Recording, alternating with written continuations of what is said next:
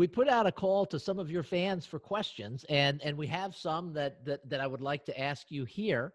Uh, the first one, I think you've kind of answered. What did you do in finance? I think we we know that now. But the the person who asked the question said, "I'm in public accounting, and I like how you handle business in the Demon Accords." So, c- could you speak to that a little bit? Uh, how how the business aspect of your life worked its way into your books? Well, I think it's just another aspect of writing what you know. Um, and, and, I'm sure Michael will agree with this, but when you're asking somebody to suspend uh, belief uh, in the fact that there's a vampire, a werewolf, um, you know, supercomputer, a witch, whatever it is, if you can give them more actual, factual, um, solid life bases to to um, build into the whole storyline, it makes it easier to step out a little bit and say, okay, I'll give you a witch who can call lightning from the sky because, you know, yeah, that whole thing about the stock exchange was kind of accurate or, you know, the way the guy handled his gun was accurate or, you know, how the, the helicopter pilot spoke, mm-hmm. you know, was, was on point. So, but if you start to just like make everything up and don't have really a clue as to what you're writing, I, I think then people are like, listen, I'm not going to be able to get to the part about the witch because I didn't even like what you wrote about the shotgun. So yes. I, I think it fits in with that. If you have stuff going on in business and, and business drives so much of our world these days, uh, you can't turn on the TV at night without hearing about different money flows in the markets or what the Fed is doing or those kind of things and how it in, influences politics to me that makes a story more believable if if you're hearing about that in the same world all right i'm gonna jump in before he gets to the next one you're not allowed to have or at least admit in public you have a favorite child but do you have a favorite character or if you're not willing to answer that one do you have a favorite character at the moment uh I'll admit right now I'm pretty partial to Declan mm-hmm. uh, in the series. In terms of overall favorite characters at this very moment, uh, there's a new character in the new series that's coming out. His name is Savid, and um, I like Savid a lot. There's there's some things about Savid that I can relate to. Um, not all of his his abilities or or skill set, but just sort of how he sees things and and how he relates to people. So um, he's he's working his way in there as as a um, maybe a new favorite for a short period of time. But I, I wouldn't say that I disown any of them. I come back to them again, and it's been unless I kill them. right. If I kill them, then that then I have to memorialize them. But uh, you know, writing Dark and Queen, I'm writing from Tanya's point of view, and that's been fun to go back and see how she th- she sees things and um, how things have impacted her that I hadn't really considered before. Uh, but I, I, would say in the Demon Accords right now, Declan, maybe I'm a little bit partial to. And I have a, a follow up question, but I promised Steve he could ask one. Go right ahead. So on Declan, speaking of Declan, mm-hmm. what caused you to write his parents the way that you did? The ones, you know, his mom and, you know, effectively a relation, uh, a lesbian relationship. Oh, um, I don't know. It's just life. You come across uh, folks all the time in different uh, categories of life, and it wouldn't really be realistic if I wrote everything as as straight uh, couples who, you know, male and female couples. It's just not what you find in the world. And again, I want it to be believable. So there are going to be cases uh, all the time where you find you know, uh, girl girl couples, boy boy couples, and the standard guy girl. And nowadays, you know, there's there's even you know people who just don't bother to identify what they are, and and that's cool too. So I, I want to make sure that that's kind of represented in the world because it's in the real world. So why not in my world as well? And then I'll uh, one follow up additional. Is there a tree that you could point to and go, that's the tree that is represented by Declan's family? Uh, there is in in imagination, but not in real life. I don't okay. have a tree that I I modeled that after. Uh, you're talking of the Rowan tree, yes, that exists behind his aunt's uh, property, and um, nope, that's uh, just a product of the imagination. Okay, all right, your turn, Steve.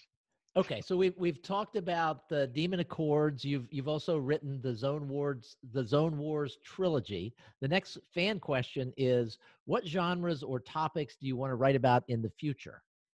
Well, uh, the new one is called the the series is called Shadows of Montshire, and the first book is called A Murder of Shadows, and it's a fantasy. So that's the the genre I, I've been you know found in the back of my head over the last year or two that's been trying to get out. Um, I think I'd also someday like to write uh, maybe a non supernatural sort of action adventure um, that maybe takes a regular person uh, who is not ex SEAL or uh, ex CIA or anything and, and puts him into an unusual situation and see if uh, if uh, he or she can get through it just by being a, a basic capable adult uh, in today's world.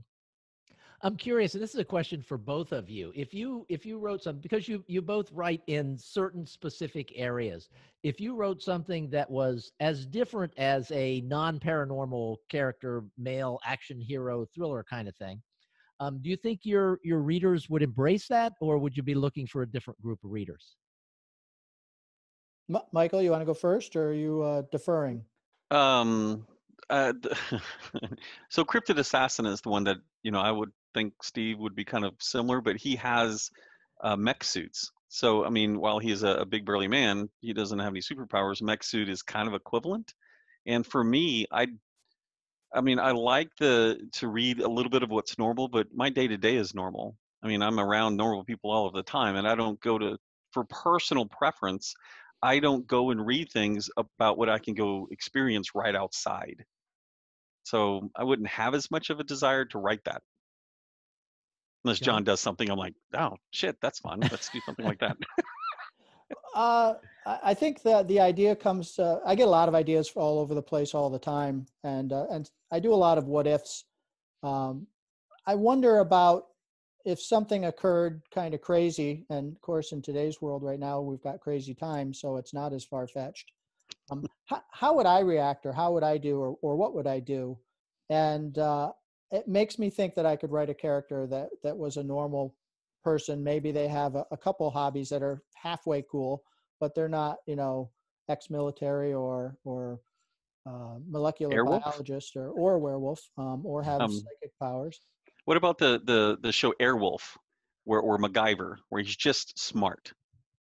Yeah, no, those are those are great. I think smarts are are what set us apart from everything else on the planet. And um, if we fail to use our smarts, that's when we get into trouble. And you, as a as a kid, I grew up in and around the Adirondack Mountains, and in the wintertime, uh, our Boy Scout instructor was merciless. He'd take us out in sub-zero weather and have us camp out. Uh, we did survival training as teenagers. That um, I guess he was a, a ex-marine drill instructor, so to him this was just normal way to treat people. But we would go out and do some really kind of crazy things, and I loved it. I thought that was great. Um, and, and that sort of background of being able to do uh, with very little, I think is is something that I um, sort of admire, and that I, I think that uh, um, I've always aspired to it. I try to teach my kids to do it. Uh, my wife grew up in a family where that was just sort of run of the mill, and nothing was special about being able to go out and build a shelter and, you know, create a fire. Place. You know, said, You, "Yeah, you weren't impressing her during the dates, huh? no, there's a very hard to impress my wife. So, um, so I just sort of see that as as kind of the ideal to push for is that you have a lot of life skills and and kind of be able to handle crazy situations if they pop up. You you brought that into Chris Gordon's dad and his two pals, his two military pals, and so you really kind of wove into the stories the believability of why he had this experience real early. Yeah, um, and Gramps, who is the the paternal figure that raised him, his grandfather, uh, Right. is an amalgam of people that I know. And he's amalgam of about two, maybe three people. And the set of skills that he has uh, are not uncommon where I I grew up. You would find you know people of of some military service background, or you know they're farmers, or uh, they're search and rescue people, and they have you know a diverse background of skills that let them find their way through emergencies when they pop up and keep calm and use their brains and, and think their way out of situations where other folks might just panic and die on the spot uh, and they they find out they're 15 feet from a road but they never saw it because they they didn't you know take the time to calm down and, and work their way through the situation All right, last Steve. question from me, and then then we'll turn this over to Michael uh, because he is he's he's got that whole fanboy thing really working right now. but last question from me is: What has surprised you? Um, what what changes in your life have surprised you since you've become a full time author? uh, changes in my life or Yes. about being an author? Well, no, in in your life, what what has changed since you're not going to the office anymore, and and you have complete, essentially complete control over your time? Uh, I was surprised at how quickly I adapted to it. I'm not sure I could remember how to tie a tie right now, and I'm kind of proud of that. And um, the fact I wake up by maybe eight o'clock in the morning and don't have to rush out at 5:30 like I used to, and and just how very quickly I got used to that schedule. Um, I think that surprised me. I thought it was going to be more regimentation, and quickly discovered that nope, I can I can relax and kick back and and uh, enjoy life a little bit. And you've actually been able to do that.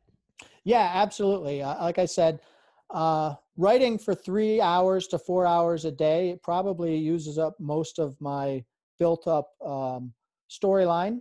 And then I typically need to, to take a break and just going out and getting either in the natural world or out among humans uh, is where the next set of storylines usually build themselves from. What are some of your favorite authors that you read, you know, for to regenerate? You know, Stephen King on writing talked about, hey, you need to keep reading, you need to keep filling the well. And so, where or what genres or what do you do to fill your well? Oh God, I go through a lot of different books. Um, since I moved over here to Maine, I discovered a local author named Paul Doiron, who writes sort of a um, a police procedural, but it's from a Maine warden standpoint. Uh, he's he's done a great job of being accurate with uh, the you know the way that the warden service uh, operates. Um, but they're they really tend to be sort of murder mysteries, and that's not my normal genre. But I, I enjoy the way he's done them. Uh, back into sci-fi, you know, I, I, read a lot of Alan Dean Foster, Robert Heinlein. Um, I like a lot of Patricia Briggs right now in the urban fantasy genre. Mm-hmm. Um, I, uh, Jim Butcher's books, I've read all of his books. Um, Charlaine Harris, I liked her Sookie Stackhouse for some of uh, the color that she put into it that's uh, specific to uh, New Orleans and Louisiana. Um, I started on Tolkien when I was a kid, so that's something I've gone back to occasionally to sort of regenerate ideas and thoughts. Um, but but really, there are very few authors in the sci-fi world um, that I haven't at least touched on a few of their books, if not a lot of their books.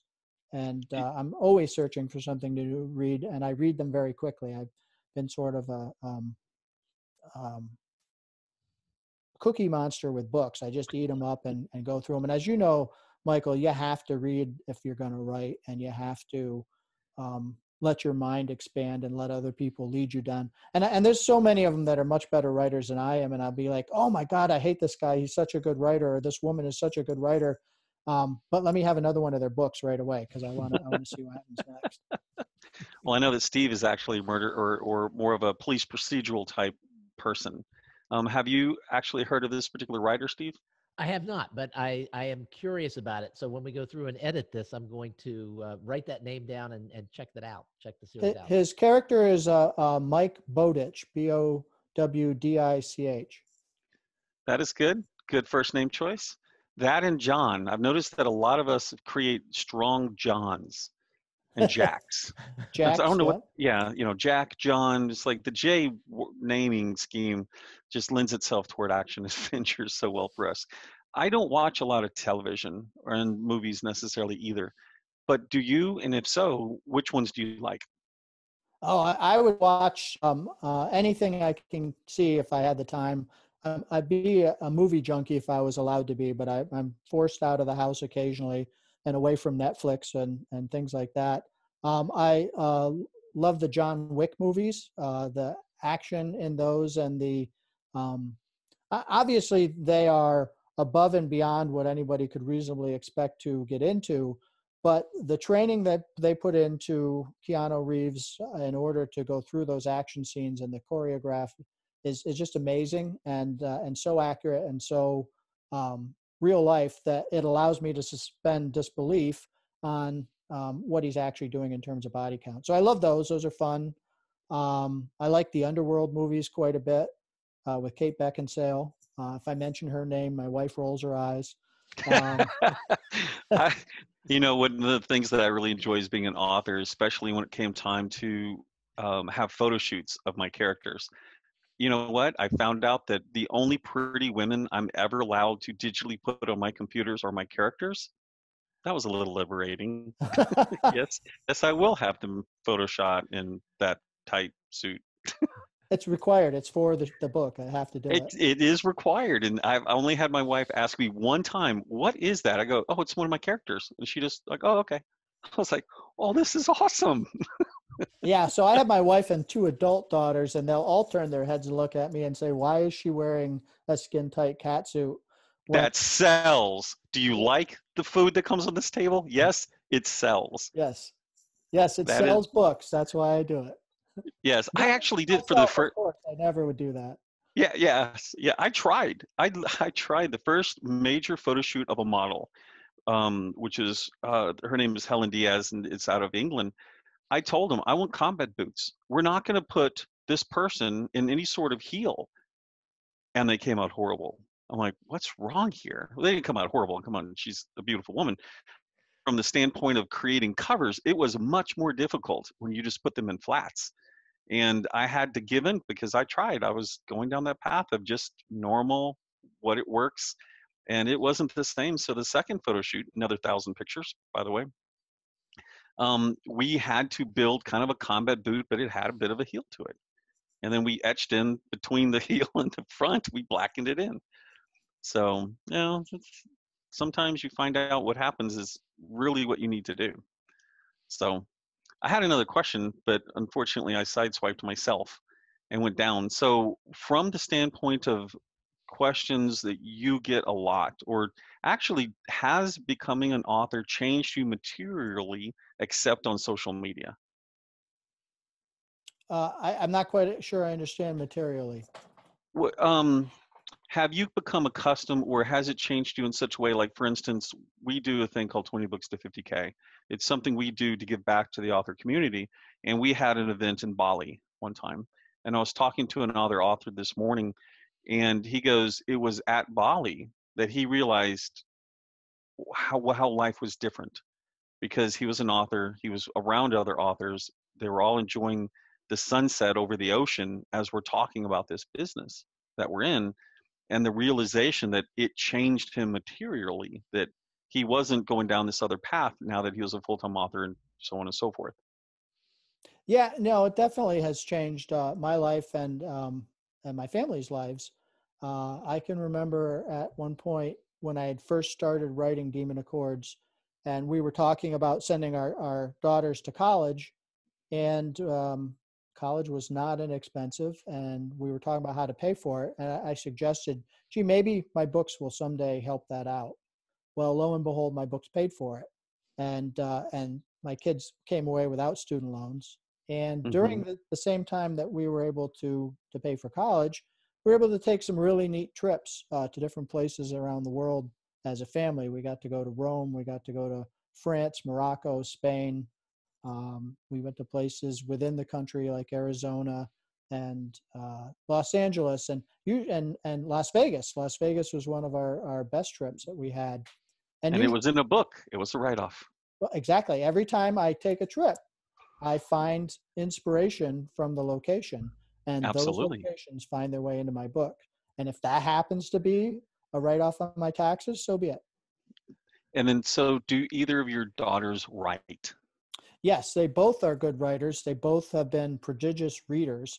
Um, uh, the oldest is actually an English teacher, so I, I don't really want her to read my grammar most of the time because she knows a lot more about it than I do. But uh, and she teaches English as a second language to uh, uh young children who come into the country and, and need that skill.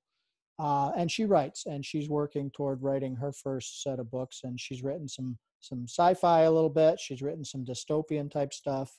Um, and being a full-time teacher, she doesn't have a lot of time for it, so that's one of her hobbies.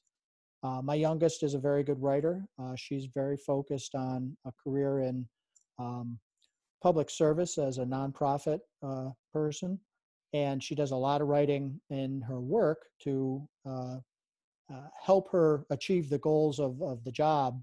And hasn't really had the time yet in her young career to uh, to set aside and start doing her own writing. But I've told them both that I expect a book out of each of them at the very least. So we'll see how that works. Laying down that dad law. You That's will. right. There'll be a I don't care there. if you. It doesn't matter what awards, what accolades. If I don't book, I- gotta I shame think they'll me. both be a better uh, better writers than I am. Uh, but the thing is, they got to come up with a book because they can do it. I know they can, and I think they'll be very good at it.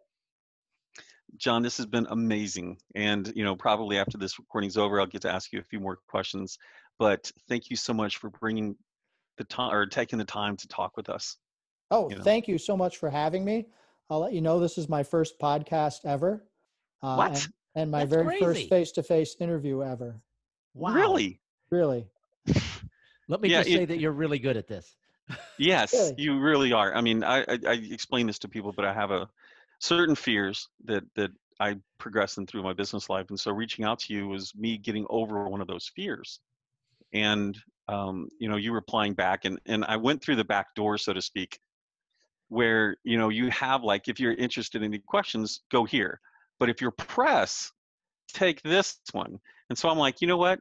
Screw this. I'm going to go the press route and just say, you know, so for a podcast, at least I'm being legitimate about this. You know, it can help him. If it's a few hundred extra client or fans, that would be fantastic. And so, you know, I'm like, okay, so I've told the story, but the first time I sent an email to Steve, which was another one of those where I have to get over my fear, um, I got an automatic email back from Steve. Hi, I'm on vacation for Christmas. I'll talk to you sometime next year. So it was nice to actually get back a response from you fairly quickly, and I didn't have to antagonize for weeks like Mr. yes, Campbell made me do. And I will never hear the end of that. Oh, hell no. No, you won't. so so John, for people interested in your books, what's the first book in the Demon Accord series? God touched. God touched. Okay. And you've got a new book, brand new series, Murder of Shadow, coming April, May 5th. May May 5th. Yep. And can we reach out to you again for another interview on this? Anytime you like. It was fun. I enjoyed it immensely. Thank you so much. And what's the best place for people to learn more about you? Uh, the the best place for um, overall information would be my website, johnconroe.com. Uh, the place where I go the most to uh, post information is probably the Demon Accords Facebook page.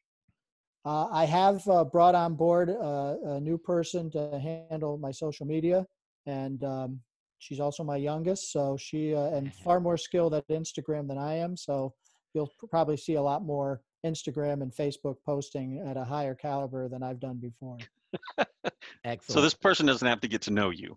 No, she knows me pretty well, uh, but she has to get over it. She's she's uh, not a 55 year old man, and so she's like, Dad, we're gonna have to work on this because my approach is gonna be a little different than yours. So, so there, there's a little learning curve there. How do how do I want things to come out as? Well, you just have to say, this is the cool Conroe.